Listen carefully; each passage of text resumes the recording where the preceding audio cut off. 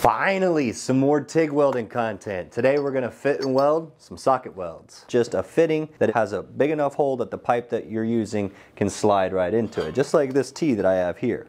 This pipe is able to slide in. It'll eventually hit a point where that socket stops and that is your socket weld fitting. It comes in a different shapes and sizes like T's, 90s, 45s, flanges, all the flanges and fittings that you could think of in a socket weld form, they make them. And this is the isometric symbol that you'll see for those types of fittings. It is a simple fillet weld. It's a little bit more complicated because it's pipe. I notice a lot of welding schools don't necessarily teach socket welds because if you can structurally weld, say TIG for example on a 2F, and you can do a 5G weld with TIG all the way out, then a socket weld should not be a problem. However, a lot of welders don't come across it in school and then they get thrown a bunch of socket welds right off the jump because it is an easy weld to make. But we got to make sure that we fill it properly. Depending on what the code asks for as far as weld size, you need to be paying attention to your fillet weld throat. That is the distance and the depth from your weld face to your weld root. That's your theoretical throat then you have your effective throat and then your actual throat. And this all depends on the type of fillet weld that you throw in here. What we're gonna do with our TIG welding process is we're gonna throw a good root pass in right here, make sure we get good fusion into it. For some socket welds, you may not need a bunch of filling to get in here. I've dealt with socket welds that are super duper thick and need multiple, multiple passes and some are just single pass welds. But most of the time it's a root